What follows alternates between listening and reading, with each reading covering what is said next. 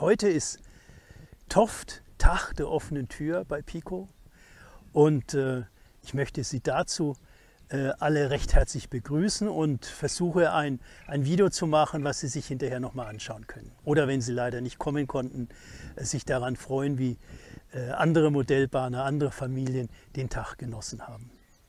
Nach drei Jahren Pause konnten wir also dieses Jahr wieder den Tag der offenen Tür ansetzen und heute ist es soweit. Warum drei Jahre? Wir mussten letztes Jahr aussetzen. Wir machen das ja immer im Rhythmus von zwei Jahren. Wir mussten äh, letztes Jahr wegen Corona aussetzen.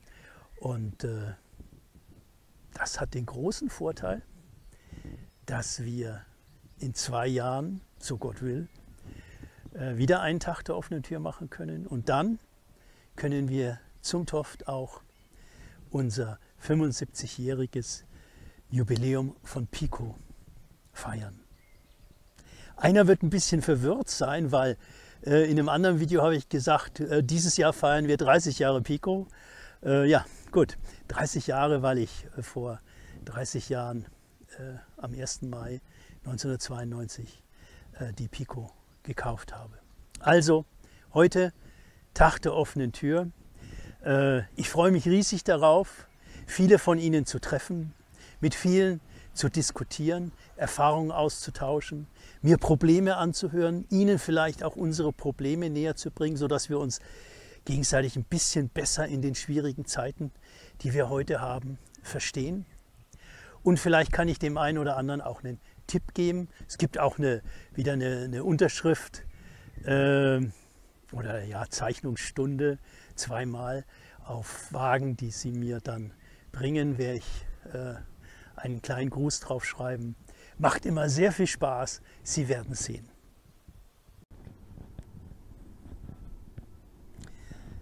Also, wir fahren jetzt nach Sonneberg. Ich nehme Sie jetzt mit. Wir verlassen jetzt den äh, Freistaat Bayern und bewegen uns über die Landesgrenze. Hier sieht man das Schild für äh, die ehemalige Grenze zwischen West- und Ostdeutschland und gleich danach sehen wir bereits das Willkommensschild zum Tag der offenen Tür, Pico, 18. Juni 22. Und kurz vor Pico kommen wir dann zum Pico-Kreisel, den wir hier vorne sehen. Unsere, unsere Ordner sind schon da. Schönen guten Morgen. Und schon viel los? Eigentlich schon. Habe ich keine VIP-Karte. Ich hoffe, Sie kennen mich. Okay, viel Spaß. So, jetzt gehen wir mal rüber und schauen. Also ich kann nicht auf meinen normalen Parkplatz fahren, weil da schon ganz viele Leute stehen. Aber wir fahren mal ganz kurz hin und sagen Grüß Gott. Das sind ja die ganzen Pico-Fans schon. Einen schönen guten Morgen. Wow, schon richtig viel los hier. Wird auch schön warm, also keine Angst. Also liebe Pico-Freunde, wir sind jetzt hier hinten in der, im Versand bei der ersten Wahl und die Mitarbeiterinnen und Mitarbeiter warten schon alle ganz sehnsüchtig auf Sie und wir fahren jetzt nach vorne und machen die Tore auf und dann sehen Sie den Ansturm. Also, viel Erfolg, schönen Tag, viel Spaß. Hier haben wir die Damen von dem Ersatzteilservice, die also schon ganz sehnsüchtig auf ihre Wünsche alle warten. Also wir rollen jetzt die Sache von hinten auf, gehen jetzt durch die Montage. Nochmal schönen guten Morgen allerseits und wir fahren jetzt vor und machen dann die Tore auf. Viel Erfolg, viel Spaß. Die Damen, hallo, wir machen jetzt auf. Alles Gute, schönen Tag, viel Spaß. Danke. Morgen. So, wo sind die Herrschaften und Damenschaften? Es geht los. Bitte auf die Plätze.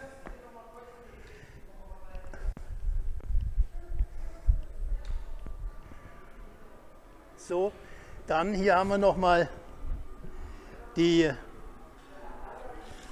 Schönen guten Morgen nochmal. Bitte alle auf die Plätze, es geht los. Herr Lorenz, auf die Plätze, fertig, los. Ja, dann aber schnell. Schönen guten Morgen. Bitte auf die Plätze, ich mache die Tore auf. Gut, ausgezeichnet. Bitte auf die Plätze. Morgen, es geht los. Bitte auf die Stände gehen. Wir fangen an. Ich mache die Tore auf. Schönen guten Morgen allerseits. Ich mache jetzt die Türen auf. Schön aufgebaut, toll. Viel Erfolg. Verkaufen Sie schön. Also bitte, auf geht's. Ich wünsche allen einen schönen Tag. Viel Erfolg. Die Türen werden jetzt aufgemacht. Und alle schon aufgeregt? Nö. Frau Roth? Herr Bayer, können wir aufmachen? Ja. Gut. Hanni Maus, wenn du dann jetzt.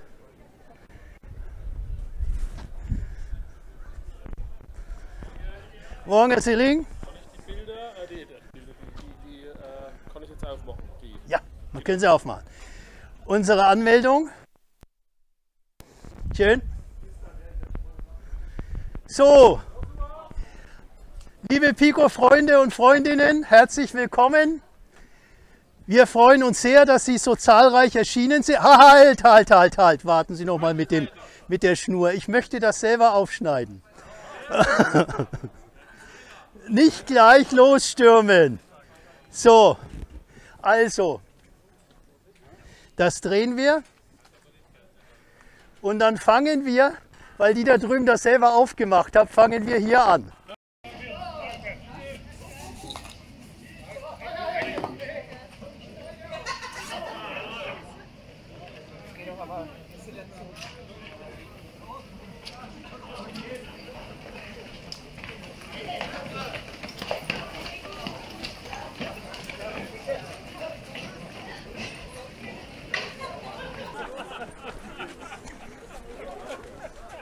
Viel Spaß! Guten Morgen! Guten Morgen! Guten Morgen! Guten Morgen! Guten Morgen! Herzlich willkommen! Guten Morgen! Guten Morgen! Guten Morgen! Herzlich willkommen! Morgen! Morgen! Morgen! Morgen! Herzlich willkommen allerseits. Freut mich. Es ist mir eine Freude, Sie begrüßen zu können. Schön, dass Sie gekommen sind. Stolz Ja. Sie, dieses Werk. Prima. Ja. Morgen. Morgen. Was? Äh, in, in den Innenbereich bitte Maske tragen. Draußen müssen Sie nicht. Innenbereich Maske tragen. Morgen. So, werde ich jetzt mal durch die Hallen fahren und mal schauen, was die Pico-Freunde da so alles machen. Wir sind jetzt ein bisschen außer Atem vom Hin- und Herfahren, vom Öffnen des Tors, aber ich wollte Ihnen jetzt mal unsere Halle zeigen, wo die Pico-Fans alle anstehen für die zweite Wahl. Früher hatten wir, nein, nicht zweite Wahl, für die Oldies ganz hinten. Früher hatten wir auf der linken Seite den äh, Verkauf erste Wahl und auch Verkauf zweite Wahl. Aber das haben wir jetzt etwas entspannt und etwas besser verteilt über die ganze Firma. Aber die ersten stehen schon an und leider müssen sie da etwas länger warten, weil wir nicht so viele Leute in den Oldie-Verkauf einlassen. So machen wir, mache ich gerne Ihnen eine, wenn Sie schon aus Tschechien Ja. gekommen sind, möchte ich Ihnen doch eine, Ja, ein Autogramm Vielen bieten. Dank. Wohin? Oh, es ist.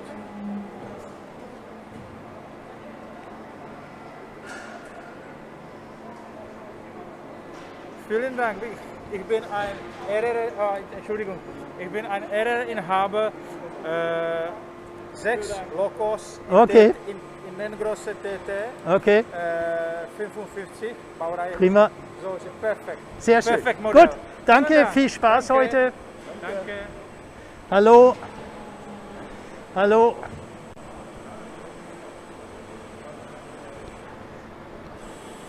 Hallo.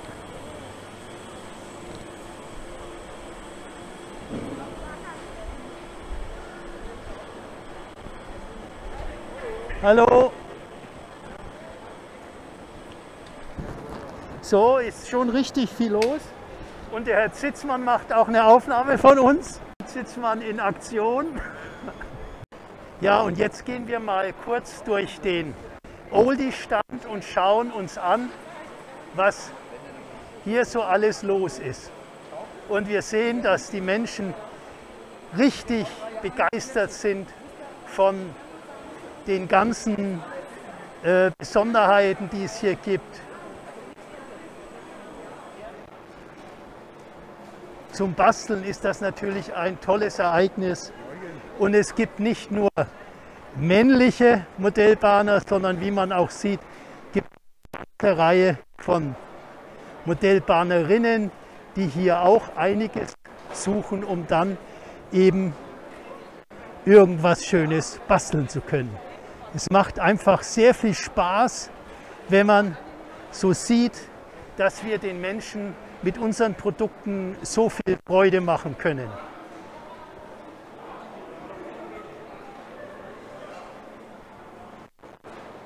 Ja, Herr Marci, wie sieht es so aus?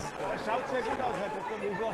Die Leute schwimmen rein und die ganzen äh, Teile werden einem aus der Hand gerissen. Wir sind jetzt auch wirklich am Limit. Und jetzt ist es kurz nach neun. Genau, um halb nach Boah, ist doch toll. Ja? Ja, aber- aber, da haben wir um, um 11 Uhr nichts mehr zu tun. Keine Sorge, ich glaube, da sind noch genügend Sachen da, äh, was die Leute alles kaufen können. Sie können mit Sicherheit alles zufriedenstellen. Hoffen wir es an. Ja, viel Erfolg. Tschüss. Okay, jetzt fahren wir mal kurz durch die Anlagenausstellung. Schauen uns das an. Hier ist eine schöne G-Anlage. Hier haben wir eine H0-Anlage drüben.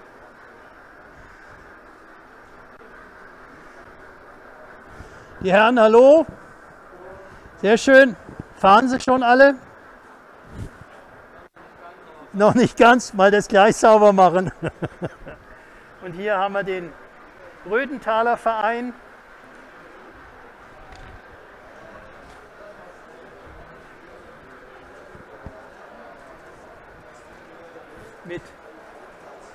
132 Holztransport, der fährt gerade nach Sonneberg, um dort aufzuladen.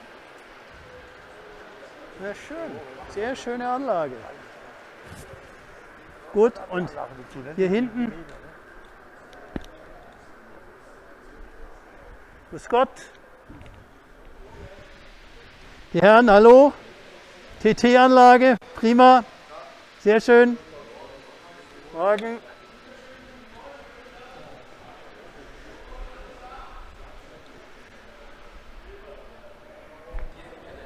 Morgen. Und hier haben wir eine große Anlage von uns, die immer zum Tag der offenen Tür instand gesetzt wird und dann wieder bewegt wird. Und sie? Hier im Verkauf erste Wahl und sind einige Leute schon da. Und Frau Geizig, wie sieht es so aus? Läuft's gut? Fein, prima, sehr schön. Also auch bei der zweiten Wahl haben wir jetzt mittlerweile eine Schlange, weil es bleibt ja nicht aus, wir können die ja nicht alle auf einmal reinlassen, sonst wird es zu eng. Jetzt müssen sie sich leider hier auch anstellen. Aber sie sind alle froh gemut und das ist schön. Und beim Kinder gibt es auch schon was. Kinder sind auch schon da und malen fleißig. Wir gucken uns das jetzt mal kurz an.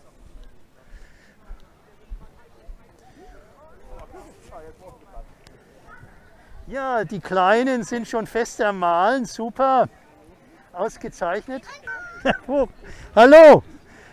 Ich begrüße Sie, Herr Vogt. Das ist sehr schön, dass Sie schon da sind. Ich Prima. freue mich, dass ich Sie erkannt habe, dass ich eingeladen bin und dass Sie wieder was machen.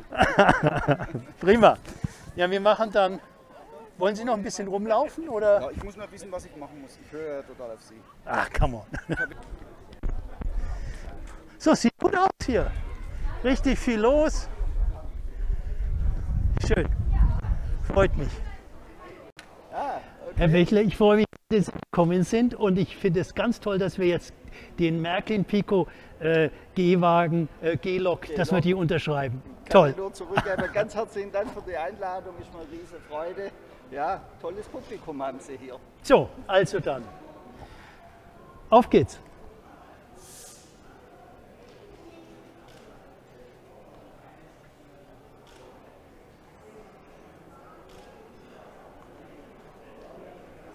War schneller, Edge.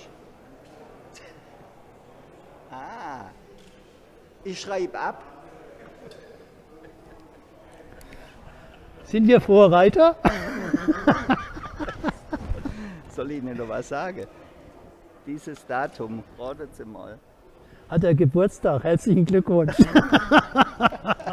er hat Geburtstag heute. Alle gratulieren. Und, und ich bin Und hier. wie wär's denn, wenn wir singen? Happy Birthday to you.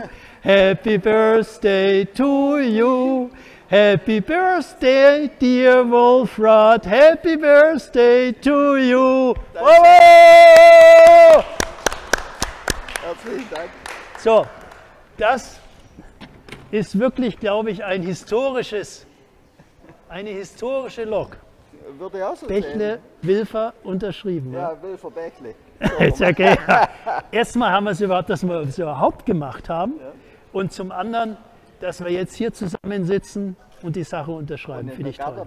Sieht sie richtig hammermäßig aus. Großes Kompliment. Okay, also ich möchte jetzt dann mal einige Sachen signieren. Hier. Soll ich Ihnen da eine Unterschrift drauf geben? Was hätten Sie denn gerne? Was? Für Burkhardt. Für Burkhardt. Bur ja, ja.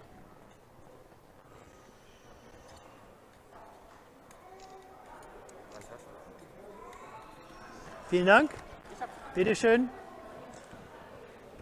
Für Florian. Für Florian. Florian. Für Florian. Florian.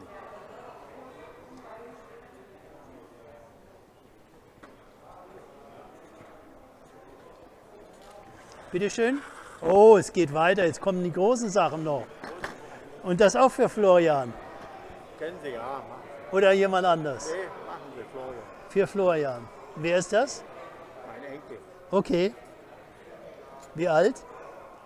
Zwölf. Und den haben sie nicht mitgebracht? Nee, das ist, die sind Wiesbaden und wir kommen aus Sachsen.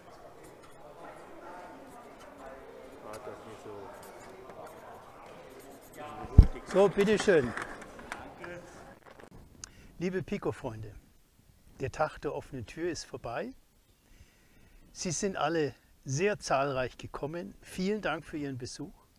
Ich hoffe, es hat Ihnen Spaß gemacht und Sie haben viele Eindrücke mit nach Hause nehmen können und vor allem den Eindruck, dass Modellbahnspielen Freude macht für die ganze Familie. Sie haben das gesehen, es waren viele Kinder und Familien da. Die Kinder haben, waren begeistert äh, von den äh, Modellbahnen. Sie haben, waren begeistert von, dem, von den Möglichkeiten, mit der Modellbahn zu spielen. Und das hat mir auch sehr viel Freude gemacht. Ich habe mit vielen von Ihnen sprechen können. Ich habe sehr viel positive Rückmeldungen bekommen über die Firma, vor allem aber über die Mitarbeiterinnen und Mitarbeiter bei Pico. Und das hat mir eigentlich am meisten Freude gemacht. Also nochmals herzlichen Dank. Wenn Sie nicht da waren, schauen Sie sich, äh, haben Sie sich ja jetzt diesen Film angeschaut und äh, ich hoffe, das ist vielleicht ein Anreiz für Sie, dann das nächste Mal zu uns zu kommen.